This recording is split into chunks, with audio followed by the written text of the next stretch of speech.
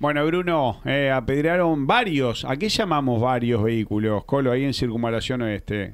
Y mira, cuando digo varios, mínimo cuatro o cinco autos, dos camiones y dos colectivos. Un montón. Ah. Para, para, para, a ver, que no es que tomamos conocimiento, que la víctima me lo relata y que no hay denuncia, o debe haber una denuncia entera de, de algunos de los vehículos dañados. Van a poder ver las imágenes, vamos a escuchar a una de las víctimas.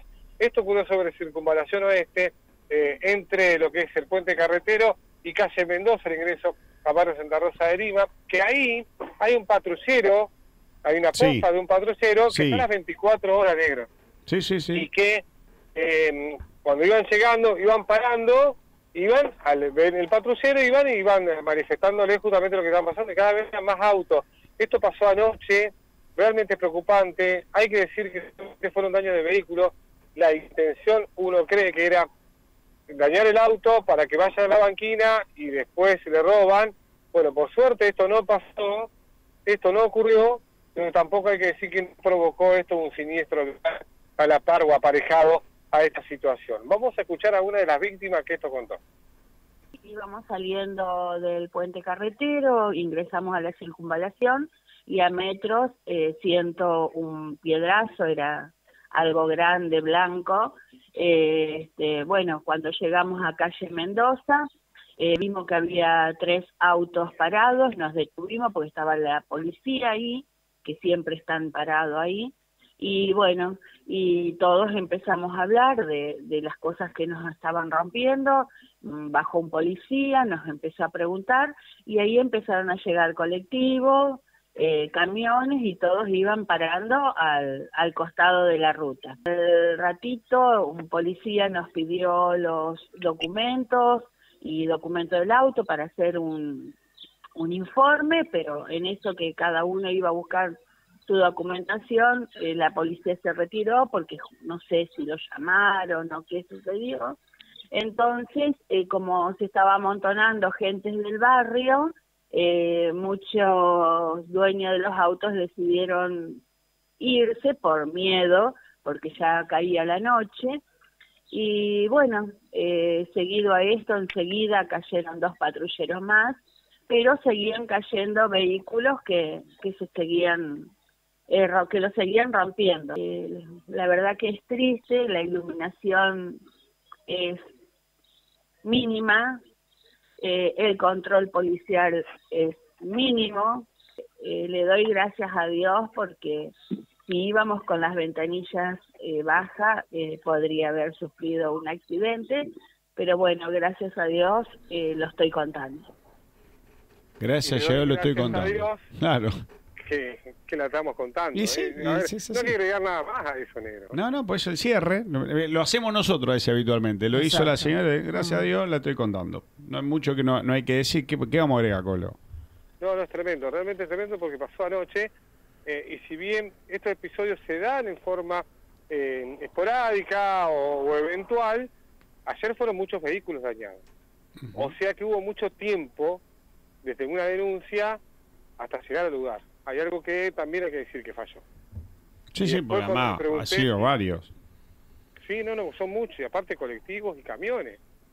Eh, que esto podría haber terminado realmente muy mal, muy mal, porque un, ca- un camión o un colectivo que pierda el control, el chofer que pierda el control del vehículo, puede terminar una tragedia.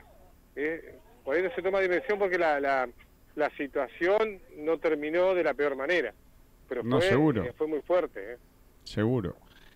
Eh, y además una situación que hoy vos también, a ver, cuando pasás, la verdad, ahí, ahí, y ahí donde está el patrullero, vos pasás, te da, porque ves mucho movimiento y te vas mirando, vas atento, pero viste el chicotazo de una, un- una piedra Sí. en alguna volanteada, alguna situación, la verdad, es tremendo, ¿no? Y además digo, no, no casuales ni mucho menos, no es que se, se- estaban jugando en algo y se, a uno que se le fue la manopla, no, no, es eh, absolutamente digitado, ¿no? La, la historia, como dijiste, en total, me dijiste, para repetirme la cantidad de vehículos, me dijiste el... Totalmente, totalmente. eh, y, y fueron muchos, eso es lo que me, me llama mucho la atención. Que fueron muchos, porque la mujer dijo, bueno, nos fuimos, ni nos tomaron datos, nada. Nos fuimos eh, y seguían llegando autos que seguían parando en la banquina donde estaba el patrullero. Eh, es real, está siempre, uno me dice algo que vos habías contado, sí está parado, es una- un auto que está ahí instalado Sí. 24 horas, sí, Sí, sí, está, está siempre ahí, sí, está siempre Está. ahí. Está ahí y estaba anoche, estaba, no es que anoche no estaba. Anoche No, no, no, estaba, estaba, estaba, estaba. Eh, eh, y rotura de vidrio son constantes. Bueno, pasa que ayer toda junta, imagínate, decís, que pasa, sigue pasando, sigue pasando, sigue pasando, y, y sigue, sigue ahí el patrullero, tendría que eh, esperar las, las denuncias, la gente, llegar. Bueno, es un tema, porque el que, el conoce la, la zona negra es, sí. es muy, por más que me tenga un Sí, patrullero, sí, si, te digo, si hay ve- 20 que te están tirando piedra por todos lados, es complicado, la verdad que es muy complicado.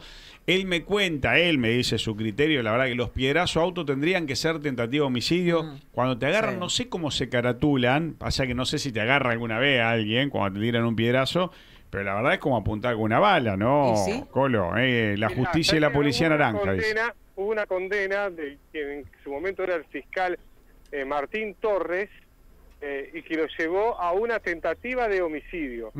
Esto recuerden, ¿se acuerdan en la autopista Santa Fe Rosario, a la altura del barrio Las Vegas, que pasaba esto? Que dejaban algunos troncos, Sí. eh, Claro. elementos sobre la calzada. Bueno, la condena, la condena, no me acuerdo quién fue, quién estaba en el tribunal, sí me acuerdo quién estaba en su momento, que era fiscal y que ahora es juez.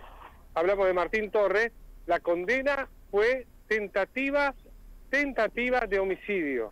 Tentativa de homicidio y se em, llevó una condena bastante fuerte. ¿eh? Claro, otro me dice Guito de la piedra como máximo de daño si se lo agarra, porque la verdad que no, es como, a ver, esto de que es muy, muy light, lo que vos ves que alguien intencionalmente te, te hace eso y te puede generar, eh, para vos que te pegue, para alguno que venga al costado de algo, es muy lo que te toca en caso de que te agarre, la verdad que no sé si agarra mucho, por eso está bueno, dice, ya hubo un fiscal que lo, lo, lo tildó de tal, ¿no? De tentativa de homicidio. Eh, pero bueno, la verdad me siguen pasando información, lo que decías vos, cole, colectivos, eh, camiones, autos.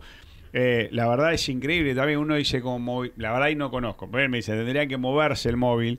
Es tan grande la zona. No, no, Va, lo que pasa es, es- que este, este no está mal el móvil ahí. Para mí el móvil ahí no está mal. Claro, pues, además una, una zona donde ahí abajo hay, no sé, hay una especie de lugar, yo digo canchitas, con movimiento, Sí, hay hay movimiento. hay movimiento. Pero digo, vos da vuelta, la verdad, esta de da vuelta, si es un patrullero, la verdad, yo entiendo esto que tiene que girar, pero no es No, bueno, más allá mediante, porque el auto lo ven constantemente. Si es un, no sé cuál sería la historia, porque la verdad que Sí. aquellos que deciden, no, no una, imagínate las veces que tiraron, tirarle piedrazos a un automóvil eh, con la intención de que pare, seguramente, o algo, no. No sé, pensarlo como alguno que está haciendo ser el, el juguetón y el divertido que podría pasar, darle a tantos autos colectivos y camiones esto de, de- de- Nunca, nunca, nunca vi eh, que haya ocurrido acá en nuestra zona tantos vehículos dañados No. en una en una zona franja horaria, así No, de- no. en una hora o en poco. Nunca vi. No, sí recuerdo la- las quejas de un montón, además le han Pero tocado claro. conocido cuando vas al country que te tiran. Claro. Sí, sí. Pero así todos en el mismo tiempo, eh, con una recorrida, digamos, de, de- de- de estar instalado durante un tiempo haciendo la, la barbarie, bueno, la verdad que no, no lo recuerdo, al menos no, no lo recuerdo. Para complementar lo del Colo, eh, respecto a esto que mencionaba, la acusación que había hecho en su momento el, el fiscal eh, Martín Torres, seis años de prisión terminaron vos. siendo condenados estas dos personas de 21 y 28 años a los cuales se les había acusado no solo la tentativa de homicidio simple por, por colocar Sí. estos obstáculos, estas piedras en la autopista, sino también robo calificado porque además de colocar las piedras, cuando los vehículos se detenían, Ah, iban y les a- robaban. Llegaron a robar, digamos. Entonces, eh, seis años de prisión fue la condena que recibieron estas dos personas mediante un juicio abreviado. Esto fue en el 2021, el hecho, y la condena se terminó firmando en el 2022. A mediados de 2022, el juez Pablo Busaniche fue el que resolvió este fallo.